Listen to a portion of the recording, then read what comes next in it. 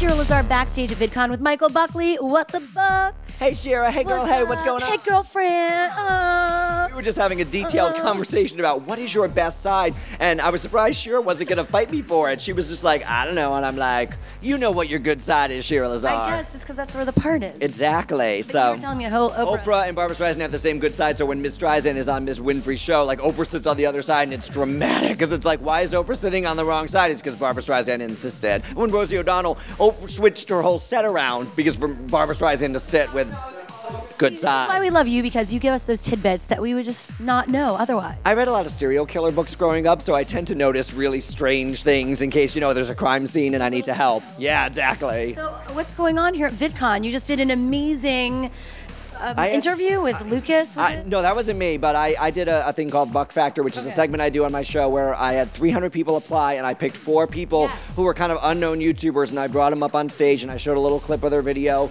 because I just thought, and I, I've said this before, I've, I've talked about myself so much for the last five years. What do you possibly not know about me? I wanted to give someone some exposure and some. You know, stage time. So I'm so happy I did it. It was really special and fun, and I had a great time. So I'm- like the X Factor, but for the Buck it- fans? It is. It's for YouTube people who, you know, have 100 subscribers or 1,000 subscribers and just want a little shout out. Because on YouTube, you really need encouragement. So if someone's watching right now, and they see that channel and they go to their comment, oh, I saw you on Buck Factor.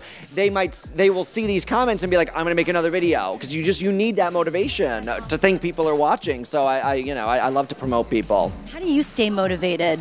I just I love what I do every day. Five years in, there's not a day I wake up and I think I'd rather be doing anything else. It's just it's really for me. YouTube for five years has been a lifestyle, a wonderful career, a wonderful blessing. Um, it's just it's the greatest thing I could ask for. So it's just it's joy and happiness. And there's some days when I'm like I'm a little tired, but then the next day I'm ready to go. Yeah, and we've known each other for so many years from the beginning, really. So it's incredible to see how much you've grown. And you too. I love this show. I watch all the episodes, and you do a great job. And I'm so you're glad you're so. I love all the interviews, and I like the behind the scenes stuff where you do kind of like the advice from the top YouTubers. I really enjoy the the. we your- will get you show. soon. We'll yeah. get. We're gonna do a partners project soon. Awesome. So yeah, so great job, you. And what about VidCon? How have you seen it change over the past uh, year? It's nutty. It's magical. It's big. I mean, that's the word for it. It's big. I mean, it was. It felt big last year. I feel like I'm being disgusting. It's big, Shira. It's big. You have such a big personality. Thank you. But it's and it's so well run. I mean, major shout out to everybody. It's so well organized and it just it feels. We even have this. This is.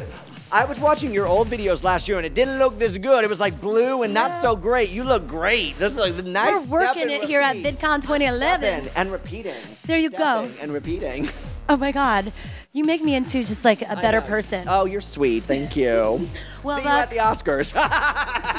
The Oscars of YouTube. Yeah, exactly. Oh, well, oh yes, I get that. I'm a bit slow today. I've been interviewing a lot of people, but, But I'm you're, your second favorite. You are- just leaving room for someone to be the favorite. I always say that to people, like I'm your second favorite. Like yes, because the favorite is a lot to ask of a person. I'm your favorite. How could I be? What if I said you were my favorite? I'll take number two. I'll leave you. I'll leave you number one for someone else, and I'm okay with that. I'm okay being your second or third favorite. I'm just happy you know who I am.